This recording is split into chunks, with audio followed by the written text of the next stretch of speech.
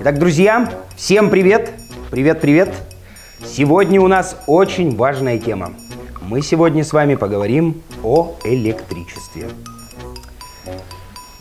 А что такое электричество? Вопрос на самом деле очень сложный. Итак, друзья, давайте для начала разберемся, откуда она берется. Для этого у нас есть специальное устройство, которое называется динамо-машина. Динамо-машина – это такое устройство, которое может вырабатывать электрическую энергию. Друзья, чтобы динамо-машина работала и давала электроэнергию для того, чтобы лампочка горела, нужно постоянно крутить рукоятку. Вот так.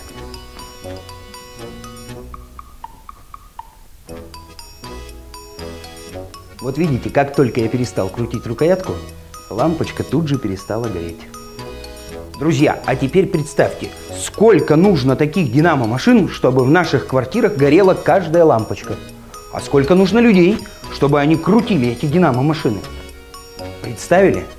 Ужас. Поэтому люди специально создали электростанции.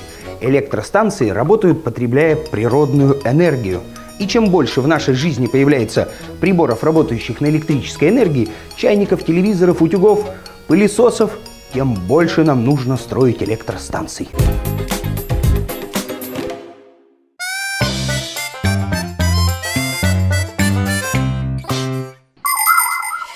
Наверное, каждому вспомнится такой случай. Лампочка горит, а в комнате никого нет. Или телевизор работает, а его никто не смотрит. Кажется, что за беда но представьте себе, сколько на Земле живет людей. И если каждый забудет выключить лампочку или телевизор То пропадет столько электроэнергии, сколько дают 100 мощных электростанций. А для каждой электростанции нужны вагоны угля и потоки нефти. И это топливо нужно все время добывать и сжигать. Видите, как дорого обходится одна горящая лампочка так что не забывайте выключать электроприборы, которыми не пользуетесь Это так просто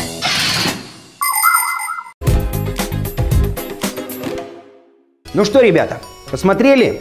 Теперь, я надеюсь, вы все будете бережно относиться к электроэнергии. Иначе нам всем придется крутить ручку динамо-машины.